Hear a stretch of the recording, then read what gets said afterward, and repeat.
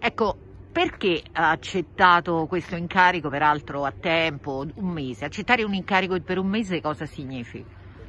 Ma significa prendersi la responsabilità di traghettare l'azienda da una situazione di provvisorietà che comunque c'era con, con, degli incarichi di facente funzione verso, spero, un incarico definitivo che eh, è un atto dovuto eh, nei confronti della popolazione, nei confronti della regione eh, nel momento in cui è stato fatto un albo regionale ovviamente, quindi mi è stato chiesto eh, di supportare eh, diciamo, l'azienda la, per un periodo limitato perché abbiamo delle attività importanti da portare avanti che non potevano subire delle interruzioni. Ma a questo Quindi... punto Marinangeli, lei non si sente un po' l'agnello sacrificale di, di testa, no? Eh, come dire, eh, poi però mi devo togliere dalle, dalle scatole in un certo senso oppure il mezzo che ha utilizzato il direttore generale per imporre ancora la sua decisione? Eh, guardi, non, non, mi sono posto in questi termini, assolutamente non mi sono posto in questi termini. Penso che sia, eh, stiamo, stiamo parlando di un'azienda pubblica, stiamo parlando di un'ASL e quindi io penso che sia dovere istituzionale di chiunque di noi, nel momento in cui viene chiamato a svolgere un incarico anche temporaneo di supporto, penso che sia un atto dovuto appunto darlo questo aiuto se ovviamente ci si sente in grado di, di portarlo avanti, di supportarlo. Lei non ha dubitato, per, non ci ha dovuto pensare, quantomeno non ha pensato ma adesso chi me lo fa fare? Eh certo, questo, questo, questo è evidente, penso che chiunque avrebbe avuto questa reazione, tra l'altro è stata una cosa diciamo, pensata in, poco, in, pochissime ore per l'appunto, mm. visto gli eventi che ci sono stati, però ripeto, non più di tanto, nel senso che eh, ho creduto, ho pensato che fosse un dovere portarla avanti questa cosa, perché ci credo, ci credo fermamente nella necessità di trovare una stabilità per la nostra azienda. Ecco, come giudica l'operaio della dottoressa Cicogna? Eh, l'operato, l'operato, l'operato. l'operato. Ma io penso che la dottoressa Cicogna abbia, fatto, abbia svolto il suo, il suo, compito, il suo dovere, eh, per quello che ne so io, in maniera eh, diciamo così, diciamo così tec tecnicamente puntuale.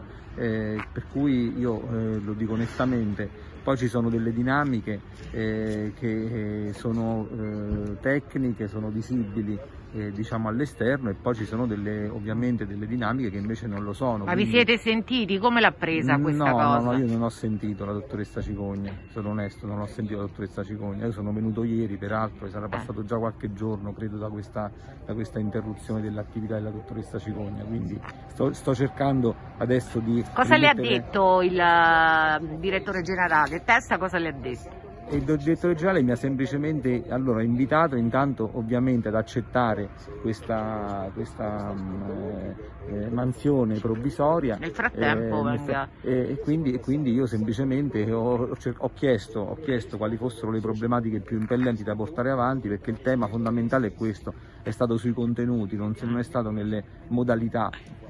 A proposito dei contenuti però, insomma, diciamolo chiaramente, c'è uno scontro politico sotto, ora al di là delle cose che ci stanno da fare, come si vive questa situazione? Qua allora, ci sono io... ripicche e lotte no, politiche. No, no, no, io le dico in maniera molto onesta e sincera, questo è stato il primo punto essenziale eh, su cui credo anche nei mesi scorsi ci siamo confrontati. Io credo che la sanità non debba essere, non possa essere momento di scontro ed è stato questo il, momento, il motivo per cui l'ho accettato l'incarico l'ho accettato nella, nella convinzione di poter essere una persona diciamo, trasparente e trasversale rispetto a situazioni che non dovrebbero entrare in una ASL, specialmente in questo momento storico. Ecco, in tutto questo nella sua decisione ha giocato anche l'invito del sindaco Biondi, la, la spronata, gli, le ha detto insomma, di, di accettare? Eh, no, non è, che lui, cioè, non, non è che mi ha invitato lui ad accettare, sono stato io che prima di accettare ho fatto diciamo così, una sorta di, eh, come dire, di check, una, certa, una sorta di valutazione, ma mi creda, assolutamente trasversale tra tutti, trasversale tutti però e ponendo, ponendo come posizione, diciamo così, eh, in, eh, più importante il fatto che appunto fosse una, eh, una, un facente funzioni, quindi una situazione ovviamente, una situazione ovviamente temporanea, perché non è, non è il mio lavoro,